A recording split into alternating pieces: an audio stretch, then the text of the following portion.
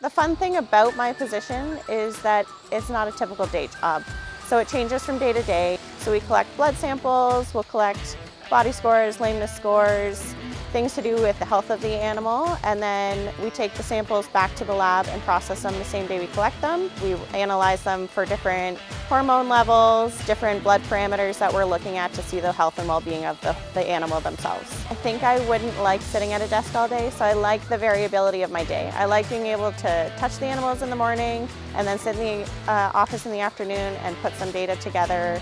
so it's very variable and the tasks that I have to do on a daily basis help in the long run for cows and producers overall to help benefit them and their health management styles. So as an embryologist, we, um, we, do, we do conventional flushing, which is retrieving embryos from a cow or a donor as like we call them, or we do the pro vitro side, which is IVF, which is we're taking oocytes, and which then they go to a lab to then be fertilized to become embryos.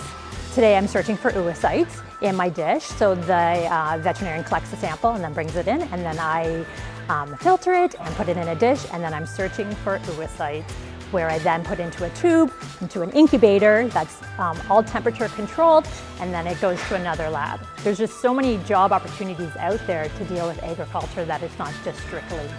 your farmer.